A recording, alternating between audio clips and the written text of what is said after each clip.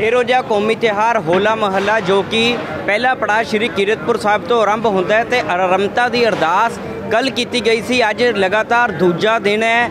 ਦੂਜੇ ਦਿਨ ਵੀ ਸੰਗਤਾਂ ਗੁਰੂ ਘਰ ਦੇ ਵਿੱਚ ਨਤਮਸਤਕ ਹੋ ਰਹੀਆਂ। ਪਹਿਲਾ ਪਵਿੱਤਰ ਸਰੋਵਰ ਦੇ ਵਿੱਚ ਇਸ਼ਨਾਨ ਕੀਤਾ ਜਾਂਦਾ ਹੈ, ਜਿਸ ਤੋਂ ਬਾਅਦ ਸੰਗਤ ਨਤਮਸਤਕ ਹੁੰਦੀ ਹੈ। ਗੁਰਦੁਆਰਾ ਪਤਾਲਪੁਰੀ ਸਾਹਿਬ ਦੇ ਵਿੱਚ ਖੜੇ ਹੈ। ਤੁਸੀਂ ਵੇਖ ਸਕਦੇ ਹੋ ਕਿਸ ਤਰ੍ਹਾਂ ਲੰਗਰਾਂ ਦੇ ਪ੍ਰਬੰਧ ਕੀਤੇ ਜਾ ਰਹੇ ਨੇ ਸਾਡੇ ਨਾਲ। ਇਸ ਵੇਲੇ ਮਹਾਪੁਰਸ਼ ਸੁਲਤਾਨੀ ਸਾਹਿਬ ਵਾਲੇ ਨਾਲ ਨੇ ਮੌਜੂਦ ਹੈ। ਗੱਲਬਾਤ ਕਰ ਲੈਂਦੇ ਆ ਵਾਹਿਗੁਰੂ ਜੀ ਕਾ ਖਾਲਸਾ ਫਤਿਹ ਜੀ। ਵਾਹਿਗੁਰੂ ਜੀ ਕਾ ਖਾਲਸਾ ਵਾਹਿਗੁਰੂ ਜੀ ਕੀ ਫਤਿਹ ਜੀ। ਬਾਬਾ ਜੀ ਹੋਲੇ ਮਹੱਲੇ ਨੂੰ ਲੈ ਕੇ ਜਿਸ ਤਰ੍ਹਾਂ ਕਰੋਨਾ ਦਾ ਕਾਲ ਚੱਲ ਰਿਹਾ ਹੈ ਤੇ ਕਿਸ ਤਰ੍ਹਾਂ ਦੇ ਪ੍ਰਬੰਧ ਹੈ ਤੇ ਸੰਗਤ ਕਿੰਨੀ ਆ ਰਹੀ ਹੈ ਜੀ?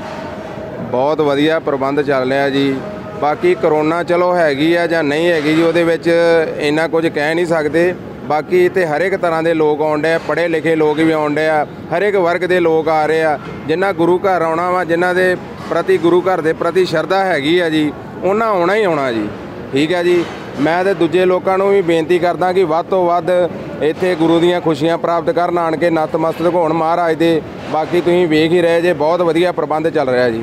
ਬਾਬਾ ਜੀ, ਜੇਕਰ ਗੱਲ ਕੀਤੀ ਜਾਂਦੀ ਹੈ, ਮੈਂ ਦੱਸਣਾ ਚਾਹੁੰਦਾ ਤਸਵੀਰਾਂ ਕਿਸ ਤਰ੍ਹਾਂ ਲੰਗਰ, ਗਾਜਰਾਂ, ਕਰੇਲੇ, ਕੱਦੂ ਤੇ ਗੋਭੀ ਇੱਥੇ ਪਈ ਹੈ। ਕ- ਦੇਖੋ, ਸੇਵਾ ਲਗਾਤਾਰ ਚੱਲ ਰਹੀ ਹੈ। ਬੀਬੀਆਂ ਸੇਵਾ ਪਿਆਜ਼ ਕੱਟ ਰਹੀਆਂ ਨੇ ਤੇ ਲੰਗਰ ਲਗਾਤਾਰ ਬਣ ਰਿਹਾ ਹੈ। ਲੰਗਰ ਬਣਾਉਣ ਵਾਲੇ ਵੀ ਘੱਟੋ ਘੱਟ ਦਰਜਣਾ ਹੀ ਵਿਅਕਤੀ ਜੋ ਹੈ ਸੇਵਾ ਦੇ ਵਿੱਚ ਆਪਣਾ ਯੋਗਦਾਨ ਪਾ ਰਹੇ ਨੇ। ਬਾਬਾ ਜੀ, ਕਿਸ ਤਰ੍ਹਾਂ ਦੇ ਪ੍ਰਬੰਧ ਚੱਲ ਰਿਹਾ ਲੰਗਰ ਦੇ ਵਿੱਚ ਕਿਸ ਤਰ੍ਹਾਂ ਸੰਗਤ ਲਗਾਤਾਰ ਵੱਧ ਰਹੀ ਹੈ ਜੀ, ਹੋਲੇ ਮਹੱਲੇ ਨੂੰ ਲੈ ਕੇ? ਬਿਲਕੁਲ ਜੀ, ਸੰਗਤ ਵੱਧ ਰਹੀ ਹੈ ਜੀ। ਕੱਲ ਨਾਲੋਂ ਬਹੁਤ ਹੀ ਜ਼ਿਆਦਾ ਫ਼ਰਕ ਹੈ ਸੰਗਤ ਦਾ ਜੀ। ਬਾਕੀ ਕਰੋਨਾ ਦੇ ਸਬੰਧ ਦੇ ਵਿੱਚ ਅਸੀਂ ਬਹੁਤ ਹੀ ਵਧੀਆ ਤਰੀਕੇ ਨਾਲ ਚੱਲ ਰਹੇ ਹਾਂ ਜੀ। ਬਹੁਤ ਵਧੀਆ ਸਾਫ਼ ਸਫ਼ਾਈ ਹਰ ਇੱਕ ਬੰਦੇ ਨੂੰ ਸੈਨੀਟਾਈਜ਼ਰ ਅਸੀਂ ਪ੍ਰੋਵਾਈਡ ਕੀਤਾ ਜੀ। ਹਰ ਇੱਕ ਬੰਦੇ ਨੂੰ ਕਿਹਾ ਕਿ ਤੁਸੀਂ ਤਰੀਕੇ ਨਾਲ ਚੱਲੋ। ਬਾਕੀ ਜੋ ਵੀ ਬਾਕੀ ਸਤਿਗੁਰ ਦੇ ਹੱਥ ਵਾਸਿਆ ਜੀ ਗੁਰੂ ਕਲਗੀਧਰ ਪਾਤਸ਼ਾਹ ਸਾਰਿਆਂ ਦੇ ਮਿਹਰ ਕਰਨ ਜੀ। ਜੀ ਕਿੱਥੋਂ ਆਏ ਹੋ ਤੁਸੀਂ? ਅਸੀਂ ਸਤਲਾਣੀ ਸਾਹਿਬ ਤੋਂ ਅਟਾਰੀ ਵਾਹਗਾ ਬਾਰਡਰ।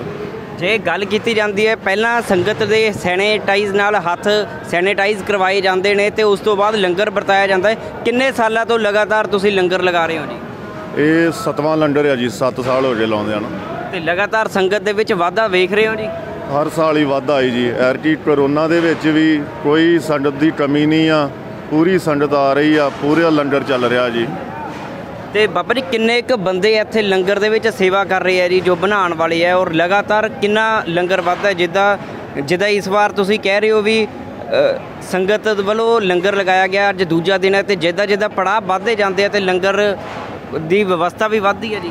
ਬਿਲਕੁਲ ਜੀ, ਬਿਲਕੁਲ ਵੱਧ ਰਹੀ ਆ। ਬਾਕੀ ਸਾਡੇ ਕੋਲ ਜਿਹੜੇ ਆ ਜੀ 30 ਤੋਂ 35 ਹਲਵਾਈ ਆ ਜੀ 100 ਤੋਂ 150 ਬੀਬੀ ਅਸੀਂ ਲੈ ਕੇ ਆਏ ਜੀ, ਜਿਹੜੀ ਪ੍ਰਸ਼ਾਦੇ ਪਕਾ ਰਹੇ ਆ ਜੀ।